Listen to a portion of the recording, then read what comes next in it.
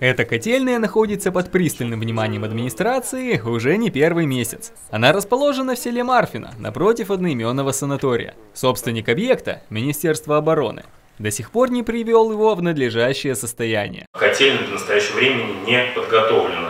Гидравлические испытания на тепловых сетях не проведены. Профильная комиссия по предупреждению и ликвидации чрезвычайных ситуаций рассматривает вопрос о состоянии котельной номер 72. Специалисты ознакомились с позицией собственника. По словам текущих владельцев, причина задержки заключается в постоянной необходимости поставлять теплую воду в местный санаторий. Касаемо гидравлических испытаний, да, здесь есть определенные сложности отключением э, СКК под Москвой, да, санаторий Марфина.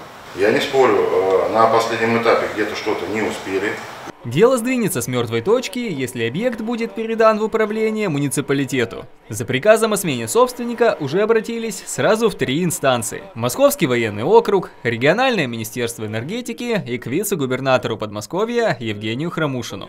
Но наша с вами задача обеспечить комфортное проживание жителей городского округа Мытищи, и мы несем полную ответственность за их проживание на нашей территории. Никакие ошибки прежних владельцев не должны помешать теплоснабжению многоквартирных домов городского округа Мытищи. Как только Марфинская котельная сменит собственника, муниципалитет приступит к проведению технических испытаний. Евгений Щепков, Первый Мытищинский.